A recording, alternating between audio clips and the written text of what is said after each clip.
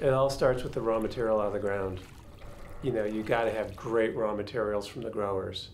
Otherwise, there's only so much I can do to it afterwards, just like cooking great food. You got to have great raw materials.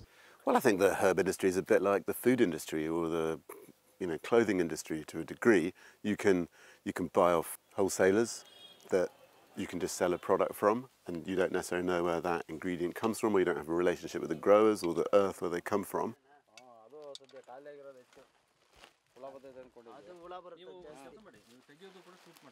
Or you can really try and you know dig deeply into your supply chain. In Europe, they have at least two tracks. One track is highest grade gets shipped to Germany, whatever they reject gets shipped to the United States. As the FDA defines um, the good manufacturing procedures as a concept of minimum competency. So they don't have to be of a therapeutic quality. In Europe, they have to be of a therapeutic quality if they're going to be dispensed therapeutically. Therapy, therapeutically effective is not part of the GMP. The GMPs state that I just need to make sure that I have the correct genus and species of ginkgo leaf. So I could literally take old, brown, improperly dried and harvested ginkgo leaf, and as long as I identify that and make sure that the microbiological contaminations within reason uh, and there are no other adulterants in it, I could market that ginkgo leaf into the United States per GMPs. But I choose not to do that. I choose to have viable, efficacious medicine, which means I have to go to more extreme lengths in finding high quality, therapeutically effective medicines. This is a good example of why it's important to cultivate Brahmi because most Brahmi, Bacopa, grows wild and damp, waste, water. As you can see here, there's bits of rubbish, dirty stagnant water. You know, it's not the place that you want to get your medicinal herbs from, really. Well, the mainstream supply chain, um, unfortunately, it still invites a lot of problems. Um, you know, pe people talk about all sorts of quality problems and regulatory problems and litigious problems and you know I hear about these things and I just say well the answer is pretty simple really you you find out where things come from you go there you meet people you develop relationships and you visit and you you know what you're buying and you can avoid a lot of problems that so many American companies find themselves in all the time just because they do anonymous buying. They do price buying and they don't know where anything comes from. If you invest in quality assurance and sustainability, you can get rid of most of your problems. Ah. I know that the, there is a, a strength that is given to a community when there is a, a set of ideals in a way or a vision to aspire to. And for me, that's what's important is that our partners and the people we work with have that intention. And because we work in the organic community, at the heart of what everyone does is this vision of making the world a better place. And I know that's a broad idea, but essentially through looking after the earth, looking after the environment, looking after the ecosystem, your intention is already so positive um, that I think that is embedded in the plants.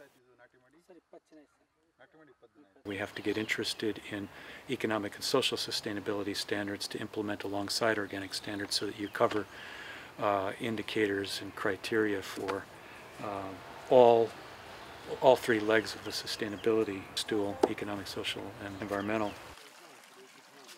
being committed to doing things sustainably and organically and supporting fair trade practices takes into consideration of not only the, the end product and the health that we hope that our customers will, will benefit from, but also the health of the communities of where it's coming from and also the health of the environment. It's not just looking at something that is, you know, got strong chemical constituents, it's also being in relationship with the plant. So if you have that health and wellness built into your system, and then it's the relationship between the farm and the buyer, or the farm and the herbalist, or the company, like if that's well and healthy and strong and respectful, then that builds more wellness. And then that gets all the way down, it translates into the medicine. I think if you buy something organically, I think you're going a long way in that direction. There's no doubt that that is a, a form of kite mark. That is recognizing some integrity within the supply chain. If you buy something that's FairWild certified, you're definitely going to have that. If you buy something that's Fair Trade certified, you know that to a, to a degree the people have been cared for a bit. There's some conscientiousness going on there. I believe that every person who comes in contact with the plants from the wild collection, all the way through the post harvest handling and processing and shipping to the final users, has an impact on the quality of the medicine in terms of its life force.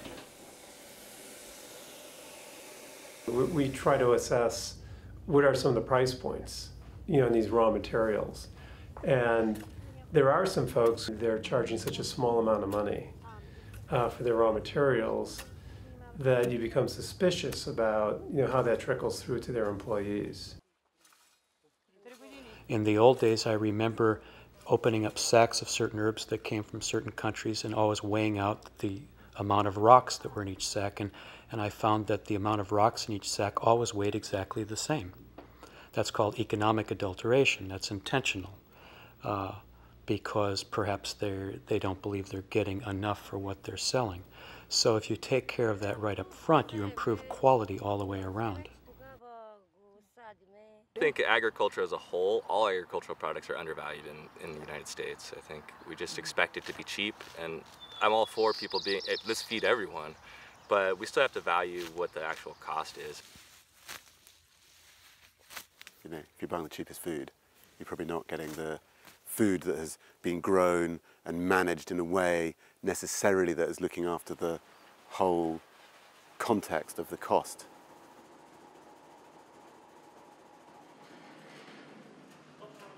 When someone comes to me or mentions to me, for example, that that uh, that they got a great deal on something and they tell me the price and it just seems too good to be true, I say, well, it sounds like someone got screwed. I think we were surprised at how much work it was. We were surprised at how undervalued it is. Mhm. So you know we're we're ready for the work. I mean we Yeah. work. We're hard workers. You have you go through all that time and then you have to bargain for how much something is valued. You just think, wow, obviously there's not that connection. And so how do we build that connection, right? There are some young farmers in the United States who are growing medicinal plants and, and making a go at it. Uh, so there, there's hope uh, I see here and there, but in the traditional wild collection areas around the world that for the past hundred years have been the main areas of supplying medicinal plants for the global market, there's ghost towns and, and elderly people that are still there doing the work. A lot of collectors of herbs are marginalised. You know, they're marginalised sort of geographically. They live on the edge of society physically. They're marginalised socially. They're often uh, living in economically deprived areas, um, and the the cost of the herbs in a long supply chain is often quite cheap at the source, and so they don't get paid a lot of money for their work, and so it means a lot of the younger generation aren't that interested in carrying on that tradition. And the overarching issue, in my view, is the absolute necessity for long-term survival of species, including humans, of biodiversity conservation. So, but that can tie in, that links into everything, because some of the theories for biodiversity conservation are that local people are, are part of the solution. So if you can then create sustainable enterprise which mm. employs the people who would otherwise be the perpetrators and then they mm. become the conservers, then um, that's a really exciting area. kind of. Mm. I'm a big proponent of, of sustainable wild collection because I see that as a way that people, consumers, if they're educated, can support companies who get it to help protect some of the last remaining pristine ecosystems in the world.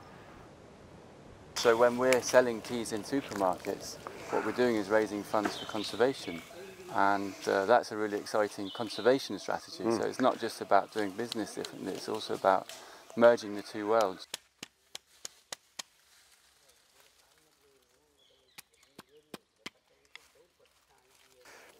I think in the past it's been apparent that you could harvest and take out what you wanted because the volumes weren't huge, but as we grow as a population size, and also as actually herbalism becomes more popular again, which is a fantastic thing, but in that process, nothing could be worse than us trying to promote awareness around using plants and then for us to harm the earth in that process. It's larger than commodities and money and products.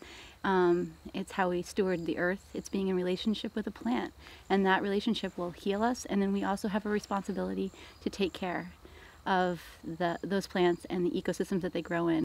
I think we should all really be thinking hard about where we you know, spend our money and who we're spending it on, so to speak, so that uh, those values that we want to promote in the world do get promoted. Because if we end up supporting the people that we're not particularly fans of, then their world won't change.